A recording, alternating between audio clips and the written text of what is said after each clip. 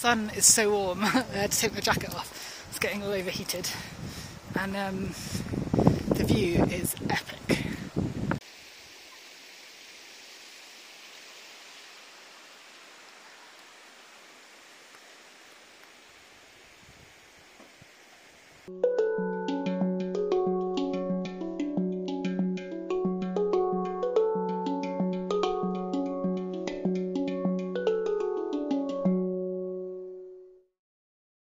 After a bit of a debate about whether to spend the time and fuel heading further into the mountains again, more mountain time won out. So I picked up some supplies, remembered at the last minute to top up my fuel tank at the last fuel stop, without which my heater wouldn't have worked, and headed back up into chilly snowland.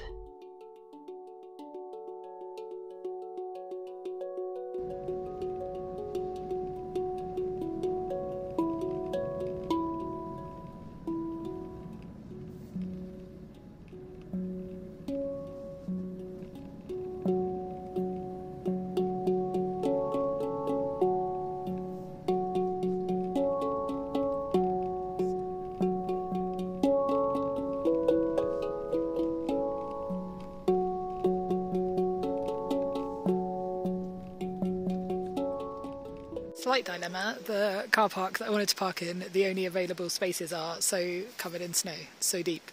So I'm like, do I just wait and see if one of the other cars moves? The ones that aren't buried in snow? Or find somewhere else?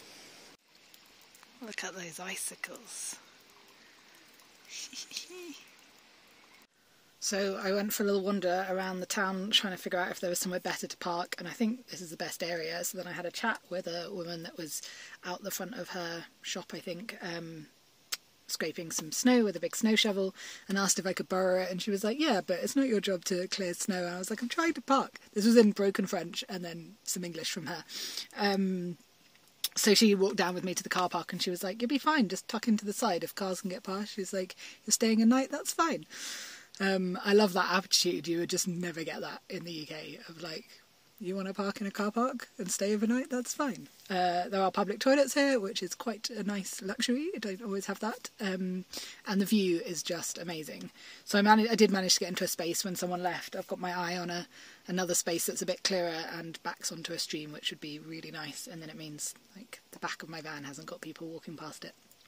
Um, but for now, this will do. I need some lunch and I need to do some editing before I go play in the snow. This is the view out of the front of the van. that might be my most impressive view yet. It's snowy, but I guess the sun on the snow makes it warm enough to also have my window open, which is awesome.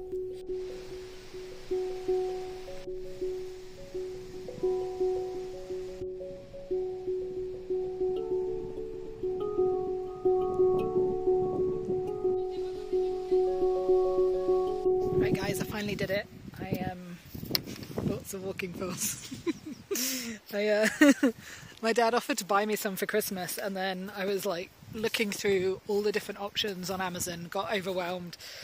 Uh, wanted to actually look at poles before buying them. Um, but also, I don't use them that much, so I think I was getting a bit bogged down in all the technical stuff and wanting really short ones that would pack up smaller in the van and stuff. Anyway, today I'm in the mountains and I just bought them from a little local shop, which actually feels better because at least the money has gone to someone local um, and a small, like, individual business. And now I have walking poles. the guy came out to ask me if I was okay and show me how they worked, and I was like, I know how they work, just can't decide between the colours because they were all the same in terms of function, but there was black and green and blue and red, but red wasn't a contender, and I couldn't decide, so I went green in the end. I have a tendency to buy too much blue sometimes, so yeah, I went green. We'll see what happens. Probably won't regret it. They're just walking poles after all.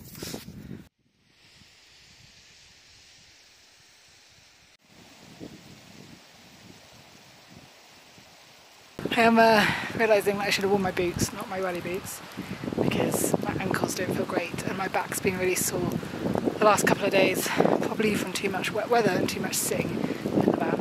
I think I'm just going to go to the rise this bit and then head back and try again tomorrow.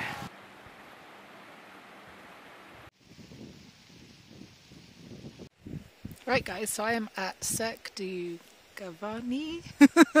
I haven't checked the pronunciation of that and I'm not online so I can't check. So if it's wrong I apologise to anyone that knows the correct pronunciation. Uh, and it has been absolutely boiling in the sun. I definitely had too many layers on and then suddenly a cloud has come over and it is chilly. I've probably said before I'm not great at chatting when people are going past, so just letting these guys go fast. they just gave me a weird look, but hey. I'm kind of used to that. I'm leaning back against a snowy bench. It feels kind of nice actually. Um, depending on what order videos go in, I might have already said my back's really sore. Um, I need to sit in the van and do some work, and it does not. I can't find a comfortable position to sit, so it's going to be fun. But the weather is changing, so I probably need to go back to the van. I cannot get over how beautiful this place is, though. I know tonight's going to be chilly, and I've spent money on fuel getting up here. I had a debate over whether it was worth the fuel and the time of the drive, like energy-wise. It's not. It wasn't that hard actually. It's probably better than the drive the other day, but yeah, it's not the most easy drive when you're winding up mountain roads. And um, never sure when a coach is going to come around the other way on your side of the road. so, or a motorhome. So yeah, definitely worth it. It's absolutely stunning here. I'm glad I came. I can understand that it is absolutely packed with people in the summer, and I'm very glad I'm not here in the summer. But there's also canyoning in this area in the summer, so who knows? I might have to come back for longer next time. There's times when it's lucky I've worn wellies and not boots, but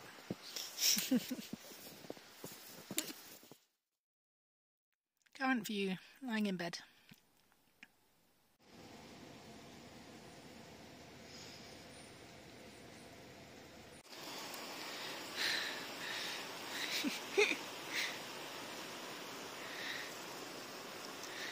That's like I don't know if I can get that up.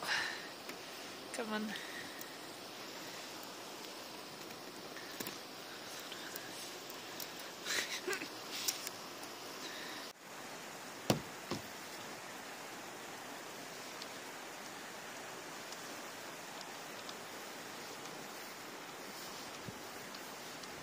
This is kind of why I had stopped using my front blinds because when it's really cold, the inside of them gets frozen. You end up with really soggy blinds. Luckily, I'm in the mountains and it will get sunny shortly and everything will dry out. But yeah, just ending up with lots of frozen stuff. Fresh bread from the bakery and the sun's just coming up from the mountains. Not where I am, but around the corner of the shop it is, so it'll be here any minute.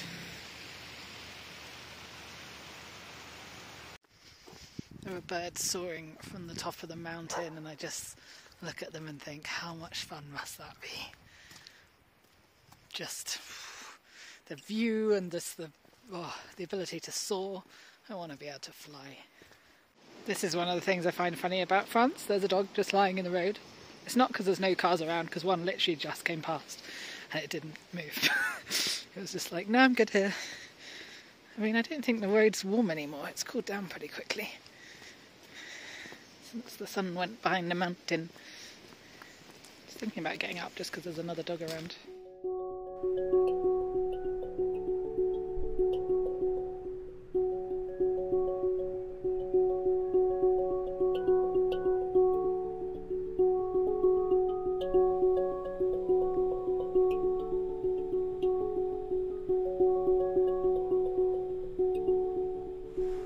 So today is take two um, a lot of snow has melted since Monday. It's now Wednesday. So until the point I've just got to, Bath is basically clear. I'm in walking boots this time and I've just put my like spiky things on because as soon as I hit the snow that's now quite slushy because loads of people have been out today, I was like, yeah, I'm just going to slide everywhere in that. And these mean that I can actually walk.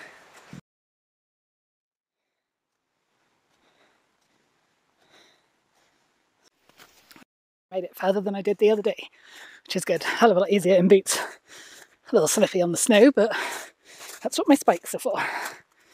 Um, it's really beautiful in the trees.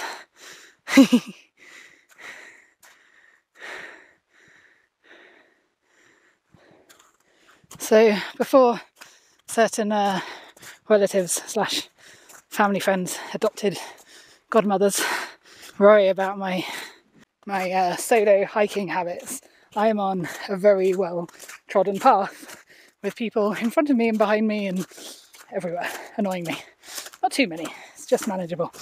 Um, I'm not going to go off walking on my own this time of the year somewhere not well trodden, not in the Pyrenees on my own, because that would be a little bit silly.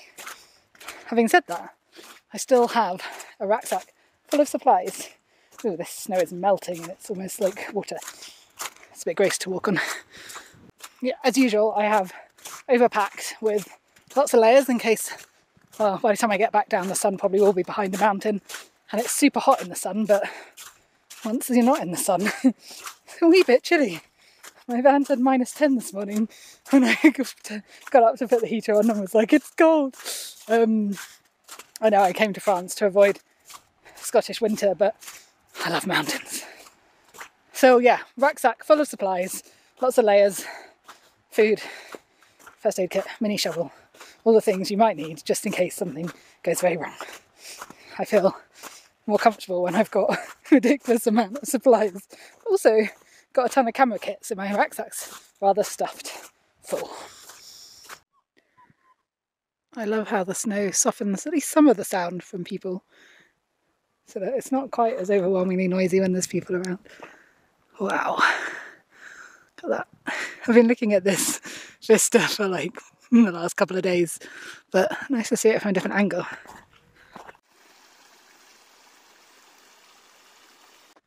The temperature change when you go from the sun into the shade is extreme. Woo. Someone's made some snowmen. They're cute. I think in a minute I'm going to, to stop for some more layers, but I'm quite hot from walking, so trying to get that perfect spot. I hate getting hot and sweaty. Good to know.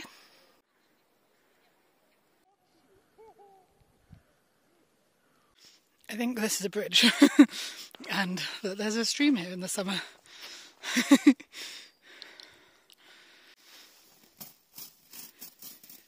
it's all soft and fluffy underneath.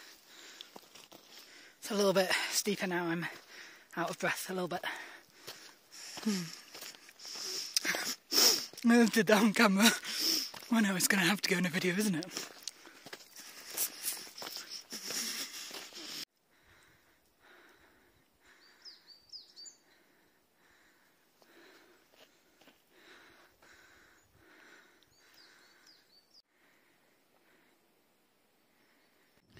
There's been a bit of swearing at the beautiful views that I won't share with you guys. Swallow my swears. I just, there's just no words.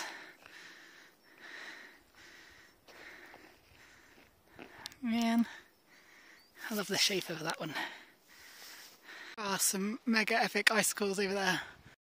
I just passed these guys who said I'll be the last one up. there were some people behind me, but I don't know if they've made it this far. They had kids. They might do. Depends how energetic the kids are. Man, stunningness. That's my new word, stunningness. For when there are no words. I might have to make up a word for this.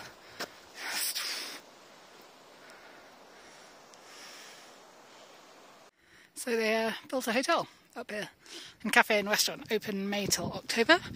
Anyone wants to come up here at that time of the year, you can get a snack and you get to the top. Wow.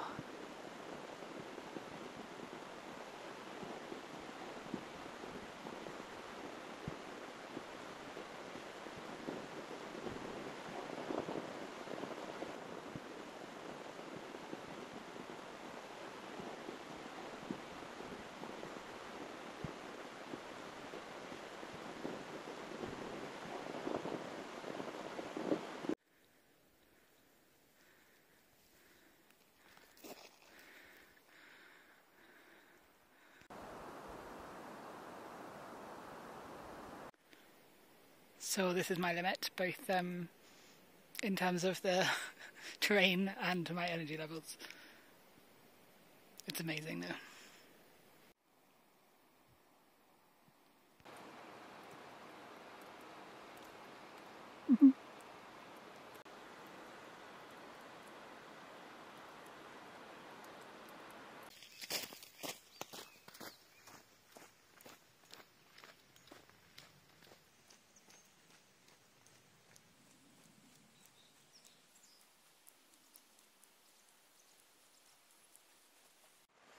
I am tired, but that was worth it. I got a bit of a stump on on the way down and kind of overheated. I put all my layers on when I was higher up because it was cold. Ooh. I've just taken these off and now I've hit a. Oh, that's okay, it's crunchy. It's like I've hit a slope covered in snow still. Definitely worth the energy going up there. I overtook an older couple on the way down. I keep kind of looking back and going, they've definitely made it out of there, right? I mean, the last time I saw them, they were down onto the easy stuff, so sure they were fine. I thoroughly recommend something like these if you uh, don't like sliding around on dodgy terrain. They work great on ice. I mean, as much as anything works on ice, but they stop you just sliding straight away. Uh, my brother bought them for the whole family many years ago, quite a few years ago. Mine are still going strong. They fit over most of my shoes. I wear them on my wellies as well sometimes. So yeah, I couldn't have done that walk without them. As soon as I hit the like snow, compacted snow and the slush, uh, my hiking boots are just going to slide everywhere. They're not made for that kind of terrain. So thank you, Guy, for how many years ago it was that you got us these. They're amazing. So it's finally bye to my well, definitely my favourite spot of the last few weeks. But before it gets dark, I'm going to head down the mountain because I don't want to do another really cold, damp night. I mean, it wasn't that damp, but it kind of feels damp when it's that cold.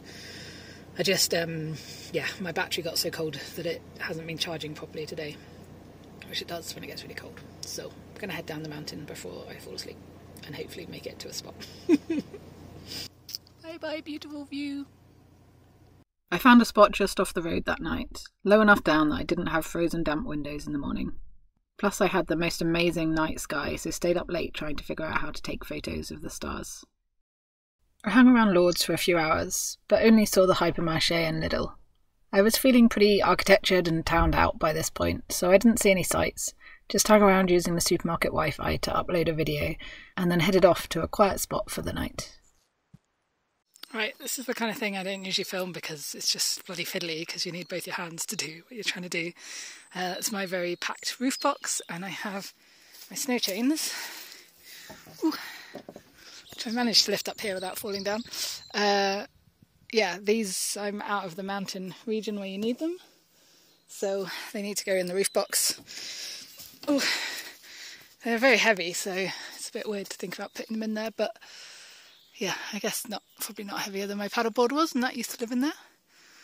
Um, not entirely sure where it's going to go. My roof box is pretty full of stuff. always, always have too much stuff. Ooh, it's got canyoning gear and a duvet, and uh, that's my buoyancy aid and hangers and ground sheet and camping chair that I rarely use, but I do love. Um,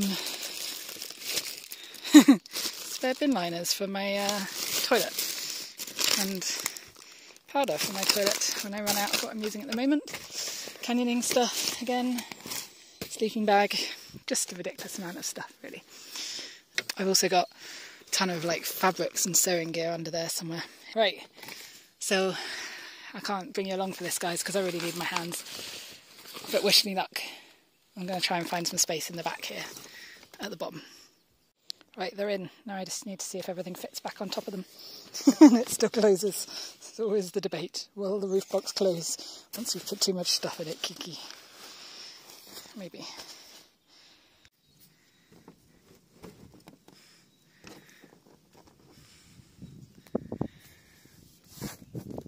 That click is always a good sign because it means that it is locked.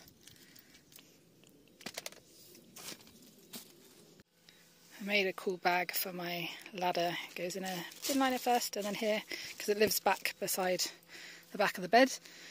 And um, otherwise it gets condensation on it in the winter and also it's a ladder that I've stepped on and I don't want it by my head.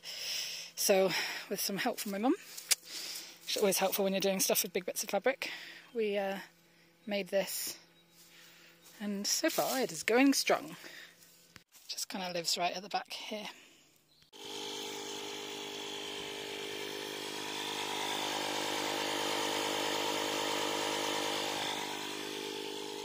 And that's the other task for today before I head off. I'm just saying a little goodbye to the mountains because it's time to head north. I'm going to miss them, but at least I'm going back towards Scotland and there's mountains up there. There's stream.